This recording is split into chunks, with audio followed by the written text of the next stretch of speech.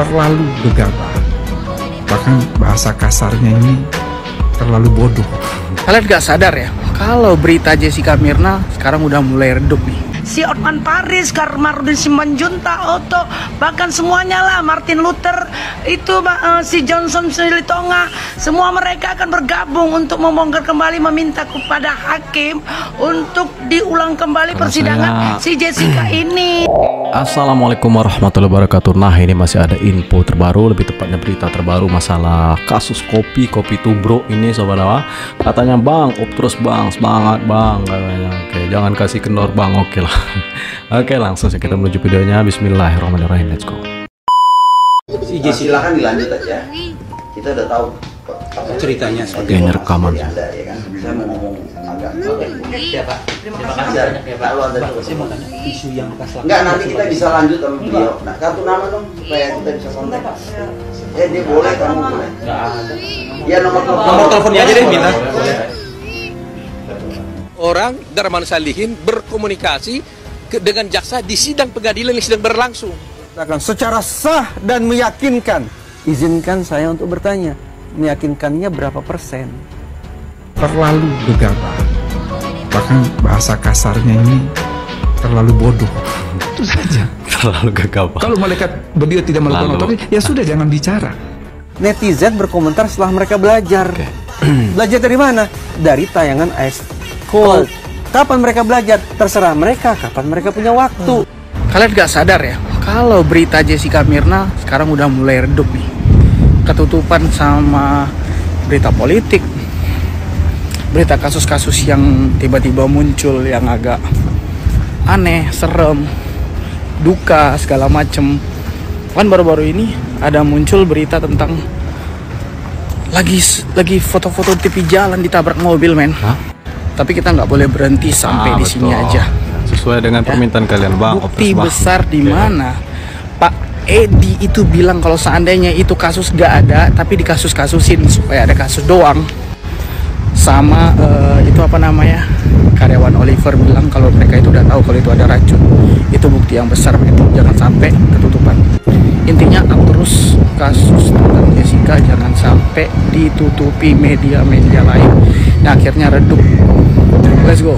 Justice for Jessica Persidangan kasus kematian Mirna akan diulang kembali, tapi kita nggak tahu tanggalnya. Tapi kupastikan kalau itu para advokat itu pengacara si Otman Paris, Karmarudin Simanjunta, Otto, bahkan semuanya lah Martin Luther, itu eh, si Johnson Silitonga, semua mereka akan bergabung untuk membongkar kembali meminta kepada hakim untuk diulang kembali Kalau persidangan si Jessica ini. Kayak gini. Bang Semalam kan aku Hotman kan. Aku Masih meminta optimis kepada dengan semua yang ikut liveku itu supaya tahu berapa banyak mereka-mereka kalian-kalian yang mendukung. Nah, kasus si Jessica ini aku bilang kirim kopi kirim kopi bersianida aku nggak membutuhkan bunga ros aku nggak membutuhkan hati. Tapi banyak juga loh ngirim hati sama aku.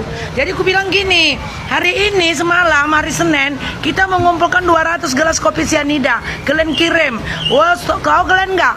Sampai hampir 500 terkirim Kopi sianida tadi dikirim itu si si bunga, si kaisang, si apa semuanya lupa aku namanya. Ada lagi dokter dari Bali.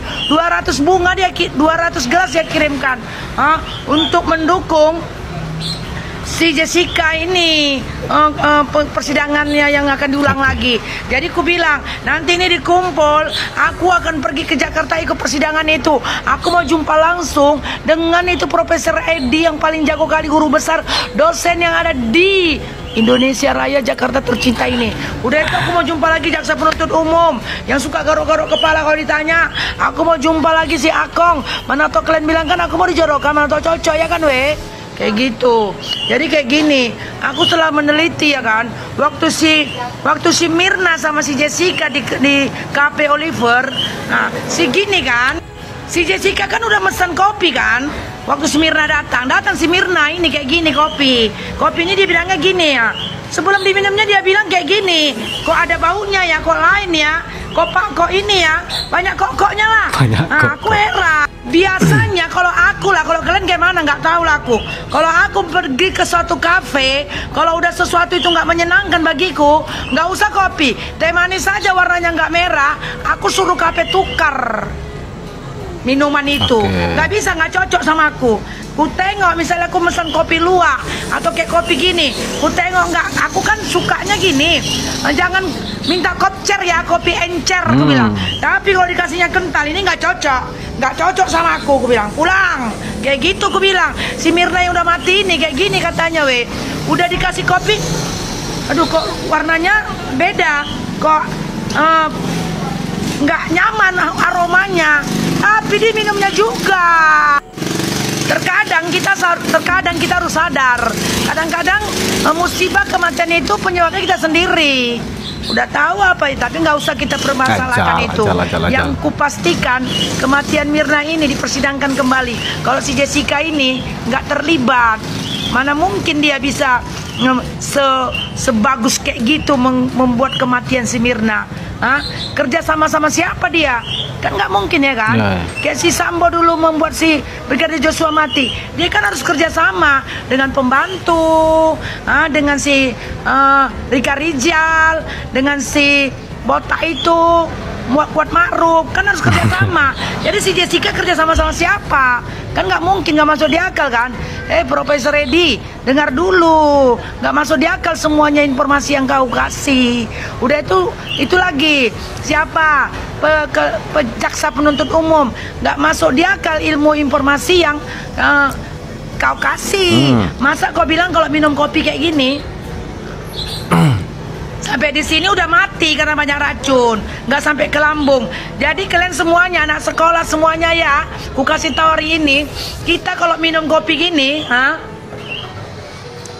Itu langsung ke lambung, Pak jaksa penuntut umum.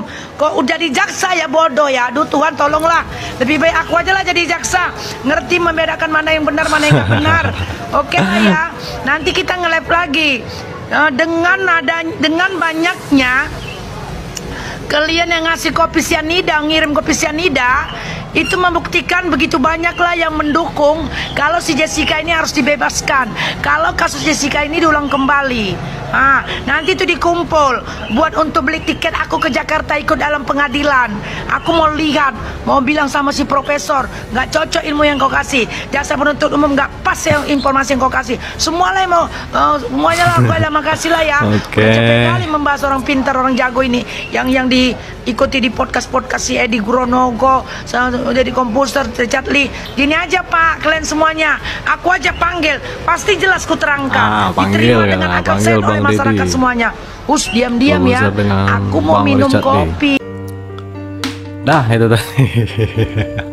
itu ibu tadi saya tidak tahu. Yang itu jelas yang lebih jelas itu dari TikTok. Oke. Oke, beliau berkomentar itu menurut beliau saudara.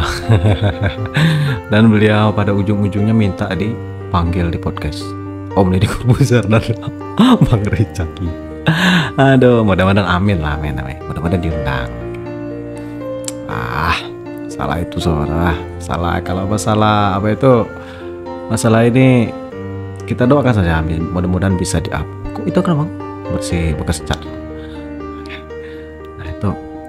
Pokoknya kita doakan saja semoga kasus ini bisa di up kembali.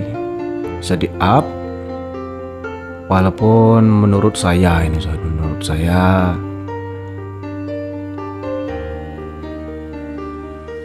mustahil bukan mustahil sulit. Susah.